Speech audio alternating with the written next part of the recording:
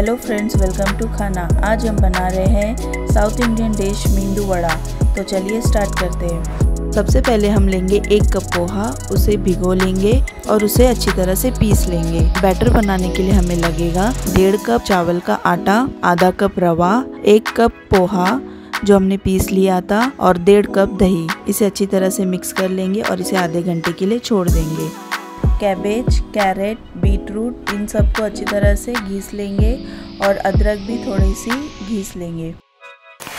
तो सबसे पहले डालेंगे हम दो चम्मच तेल, उसमें डालेंगे थोड़ी सी राई, घिसे हुए गाजर बीटरूट कैबेज और थोड़ी सी अदरक जो हमने घीस लिया था, वो भी डाल लेंगे और उसे अच्छी तरह से मिक्स करेंगे। नमक अपने टेस्ट के हिसाब से डालें। और थोड़े बीन्स भी डाल सकते हो, ये ऑप्शनल है। उसे अच्छी तरह से मिक्स कर लेंगे। आप देख सकते हो हमारे वेजिटेबल पक चुके हैं। अब हम इसे बैटर में ऐड करेंगे। बैटर में इसे अच्छी तरह से मिक्स कर लेंगे। जो हमारा बैटर है, मेंदू वड़ा का, वो कलर चेंज हो गया है रेड कलर हो गया है।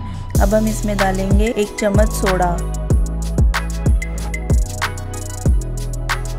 मेंदू वड़ा का शेप देने के लिए हमें थोड़ा अपने हाथ को पानी लगा लेना है और थोड़ा सा बैटर लेकर उसे बीच में स्पेस करना है और फिर उसे तवे में फ्राई करना है। तो आप देख सकते हो हमारा मेंदू वड़ा है, वो रेड कलर है।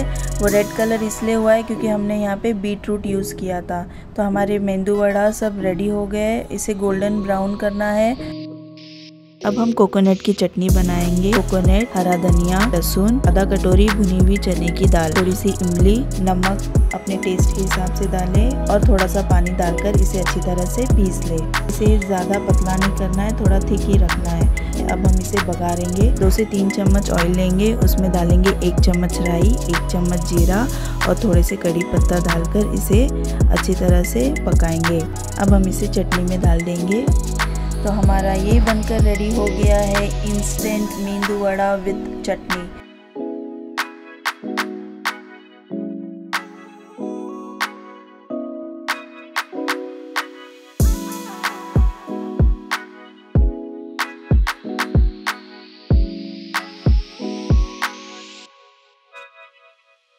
अगर ये वीडियो आपको अच्छा लगे तो इस वीडियो को ज़्यादा से ज़्यादा शेयर कीजिए लाइक ये ज़रूर बताइए कि आपको ये वीडियो कैसा लगा। और हाँ हमारे फ़ूड के वीडियोस को सबसे पहले देखने के लिए इस चैनल को सब्सक्राइब ज़रूर करें। और बेल आइकन पे क्लिक